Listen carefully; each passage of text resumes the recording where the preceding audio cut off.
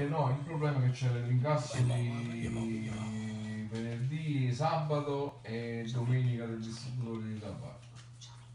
Eh, quello non lo so se poi si manda la denuncia e poi si vede. Sì. Comunque ci vogliono i prospetti contabili giornalieri